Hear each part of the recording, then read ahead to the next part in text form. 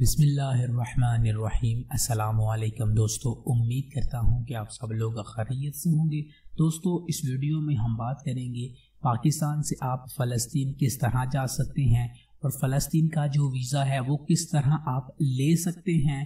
اس video میں انشاءاللہ تعالی آپ کو بتائیں گے۔ ویڈیو کو آپ اینڈ تک ضرور دیکھیے۔ نئے ہیں چینل ٹیچ ویزا کے اوپر، تو آپ اسے سبسکرائب ضرور کیجیے اور اگر آپ نے دوسرا چینل ٹیچ ویزا پنجابی کو سبسکرائب نہیں کیا تو اس کا بھی لنک آپ کو نیچے ڈسکرپشن میں پرووائڈ کر دیا جائے گا۔ اسپیشلی وہ لوگ اس چینل کو وزٹ ضرور کریں جن لوگوں نے اٹلی کا سیزنل یا پھر نان سیزنل ویزا اپلائی کیا ہے۔ نولا استاد نکلنے کا انتظار کر رہے ہیں۔ تو پلیز وہ لوگ اس چینل ٹیچ ویزا پنجابی کو ایک بار وزٹ ضرور کریں۔ جی تو دوستو، جیسا کہ آپ کو معلوم ہے کہ فلسطین کے اوپر اس وقت کیا حالات ہیں، اسرائیل کس طرح ظلم کر رہا ہے، اسرائیل کی سٹیزن کے اوپر۔ اس وقت جو حالات ہیں فلسطین کے اوپر تو کافی زیادہ پاکستانی یہ پوچھ رہے تھے اور میرے ذہن میں بھی ایک سوال تھا کہ اگر کوئی بندہ پاکستان سے فلسطین جانا چاہتا ہے تو وہ کس طرح جا سکتا ہے۔ میں آپ کو بتا دوں، جو پاکستان کا پاسپورٹ ہے، اس کے اوپر آپ اسرائیل نہیں جا سکتے۔ اگر آپ جائیں گے تو آپ مسلم ہیں، تو وہ آپ تو بالکل نہیں جا سکتے۔ لیکن اگر آپ یہودی ہیں، پاکستان میں رہتے ہیں، تو آپ گورنمنٹ کی پرمیشن لے کر اسرائیل جا سکتے ہیں، لیکن وہاں پر جانے کے بعد بھی کافی زیادہ جو سیکیورٹی ہے اور جو امیگریشن ہے، اس کو کلیئر کرنا کافی زیادہ مشکل ہوتا ہے اسپیشلی پاکستانی سٹیزن کے لیے۔ تو اس کے دو طریقے ہیں جانے کے۔ ایک تو یہ ہے کہ آپ اسرائیل جائیں، اسرائیل سے آپ فلسطین چلے جائیں۔ کیونکہ میں آپ کو بتا دوں کہ فلسطین جو ہے، وہ دو حصوں میں ڈیوائڈ ہے۔ ایک حصہ ہے ویسٹ بینک کا، جسے فلسطین کہا جاتا ہے۔ اور ایک حصہ ہے فلسطین کا جسے غازہ کہا جاتا ہے۔ یہ دو فلسطین کی ایک اوورسیز ٹیریٹری ہیں، جس طرح پاکستان اور بنگلہ دیش ہے، بالکل اسی طرح ہی ہیں، لیکن جو پاکستان اور بنگلہ دیش ایک علیحدہ علیحدہ کنٹری ہیں، لیکن یہ دونوں ایک ہی کنٹری ہیں، لیکن ان کی جو لوکیشن ہے، وہ الگ الگ واقع آپ میپ کے اوپر دیکھیں گے۔ تو جو غازہ ہے، وہ سمندری حدود اور جو دوسری طرف لیبیا کے ساتھ اپنے بارڈر شیئر کرتا ہے، اور جو ویسٹ بینک ہے، وہ جارڈن اور سیریا کے ساتھ اور اسرائیل کے ساتھ اپنے بارڈر شیئر کرتا ہے۔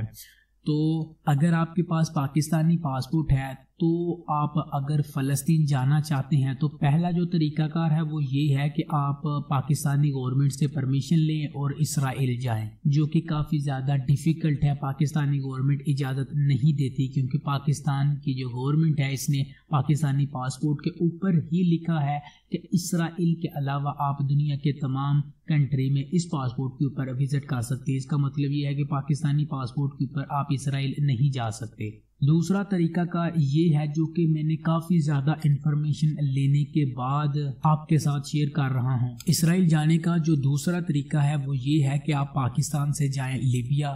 آپ کسی بھی کنٹری سے آپ کے پاس پاکستانی پاسپورٹ ہے، آپ لیبیا جائیں اور پھر آگے آپ لیبیا سے اسرائیل آسانی سے جا سکتے ہیں۔ اس کا جو طریقہ کار ہوگا وہ اس طرح ہوگا کہ آپ پاکستان سے جائیں گے لیبیا لیبیا سے پھر آپ لیبیا اسرائیل بارڈر کے اوپر جائیں گے اور وہاں پر آپ اپلیکیشن دیں گے کہ میں اسرائیل کو وزٹ کرنا چاہتا ہوں، میں پاکستان سے آیا ہوں، پاکستان سے اسرائیل کا ویزا نہیں ملتا، تو پلیز مجھے وزٹ کرنے کی اجازت دی جائے۔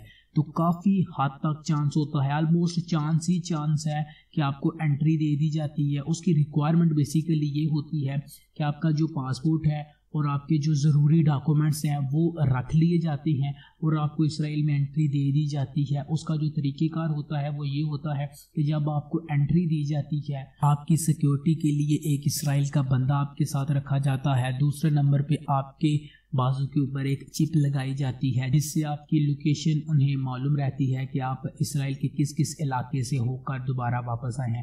یہ جو ویزا ہوتا ہے بیسیکلی ویزا نہیں ہوتا، آپ کو ویزا فری انٹری دی جاتی ہے۔ یہ پندرہ دن تک ہوتی ہے۔ پندرہ دن تک آپ وہاں پر رہ سکتے ہیں۔ جب آپ واپس آئیں گے لیبیا، تو بارڈر کے اوپر آپ کے تمام ڈاکومنٹس اور جو چپ ہے، وہ اتار لی جائے گی۔ آپ کے ڈاکومنٹس آپ کو دے دیے جائیں گے۔ آپ وداؤٹ ویزا اسرائیل وزٹ کر سکتے ہیں، آپ فلسطین جا سکتے ہیں۔ غازہ جانا کافی زیادہ مشکل ہے۔ اسرائیل سے اگر آپ لیبیا سے غازہ جانا چاہیں تو آئی تھنک آپ جا سکتے ہیں، لیکن وہاں سے بھی کافی زیادہ مشکل ہے۔ کیونکہ جو غازہ کا علاقہ ہے، وہ تو بیسیکلی ان کو ٹیررسٹ کہا جاتا ہے، تو جس کی وجہ سے اسے نہ تو لیبیا سے آپ غازہ جا سکتے ہیں۔ کافی زیادہ ڈیفیکلٹ ہے۔ تو اسرائیل سے تو غازہ بالکل ہی نہیں جا سکتے ٹوٹلی بلاک کیا ہوا ہے اسرائیل نے غازہ کو۔ جی تو دوستو، امید کرتا ہوں کہ آپ کو اس انفارمیشن سے فائدہ ہوا ہوگا۔ اگر آپ میں سے کوئی بھی بندہ اسرائیل جانا چاہتا ہے تو ان طریقوں کو فالو کر کے اسرائیل جا سکتا ہے۔ امید کرتا ہوں کہ آپ کو یہ انفارمیشن پسند آئی ہے انفارمیشن پسند آئی ہے۔ تو پلیز آگے شیئر ضرور کیجیے نئے ہیں چینل ٹیچ ویزا کے اوپر تو اسے سبسکرائب کیجیے ملتے ہیں آپ سے انشاءاللہ نیکسٹ ویڈیو میں۔ تب تک کے لیے اللہ حافظ۔